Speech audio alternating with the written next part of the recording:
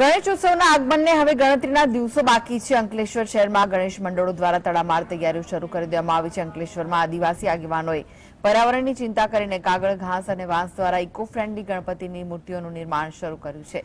સરકાર દ્વારા મૂર્તિની ઊંચાઈ બાબતે આપેલી છૂટછાટ બાદ ગણેશ મંડળના ઉત્સાહમાં વધારો જોવા મળી રહ્યો છે.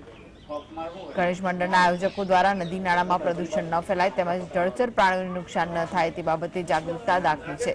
ગણેશ મંડળો પીઓપીની મૂર્તિના બદલે ઇકો ફ્રેન્ડલી મૂર્તિ તરફ વળ્યા છે. અંકલેશ્વર નગરના ચોર્યાસી ભાગોર વિસ્તારમાં આદિવાસી મહોલ્લામાં કોરોના કાળના બે વર્ષ બાદ કરતા પાંચ વર્ષથી સંપૂર્ણ ઇકો ફ્રેન્ડલી વસ્તુઓમાંથી શ્રીજીની મૂર્તિનું નિર્માણ થાય છે.